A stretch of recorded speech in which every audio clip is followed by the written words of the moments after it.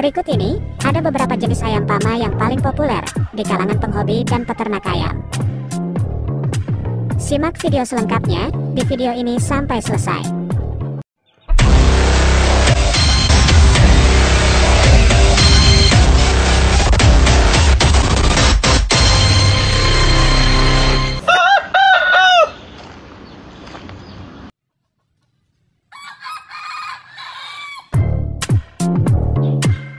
Salam satu hobi dan salam ternak sukses selalu.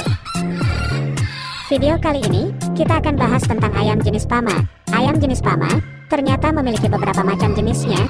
Ayam Pama termasuk kategori ayam modern yang berasal dari Thailand. Ayam jenis Pama sekarang memang banyak digemari oleh para penghobi dan peternak ayam. Ayam Pama adalah hasil perkawinan silang antara ayam Birma dengan ayam Bangkok. Asal ayam Pama adalah Thailand. Karena merupakan hasil perkawinan silang dari ayam Burma atau Birma dan ayam Bangkok, maka ayam satu ini diberi nama Pama. Berikut ini, tujuh macam ayam jenis Pama yang banyak penghobi dan peternak pelihara. Yang pertama adalah ayam jenis Pama original.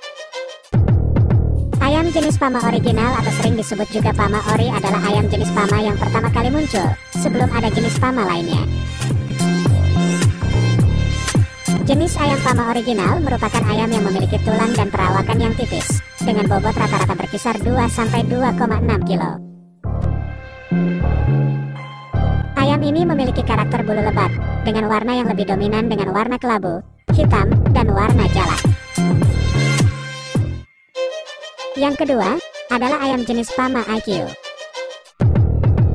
Ayam jenis Pama IQ terkenal dan booming di kalangan penghobi dan peternak ayam sekitar tahun 2017.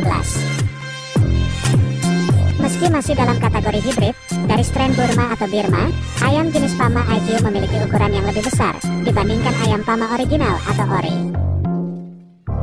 Dan ayam jenis Pama IQ rata-rata memiliki bobot berkisar 2,8 sampai 3,2 kg. Yang ketiga, adalah Pama Saigon atau Mangon. Ayam jenis Pama Saigon, atau lebih akrab dengan nama Mangon, merupakan jenis ayam yang dilahirkan dari persilangan antara ayam jenis Pama dengan ayam jenis Saigon Vietnam. Ayam ini memiliki ukuran yang jauh lebih besar dibandingkan ayam jenis Pama original, di mana bobot rata-rata ayam jenis Mangon berkisar antara 3 sampai 4 kg. Dan jenis ayam pama mangon ini biasanya memiliki kaki berukuran besar bulat dan bercorak gelap. Seperti ayam pama original, ayam pama jenis mangon ini juga memiliki bulu lebat dengan warna bulu yang kurang menarik.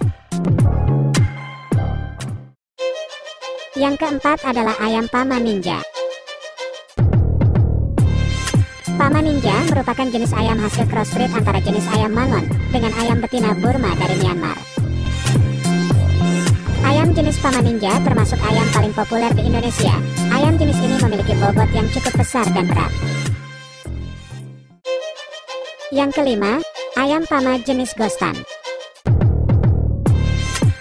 Ayam jenis Pama Ghostan terkenal dengan memiliki gaya konser mundur atau atret.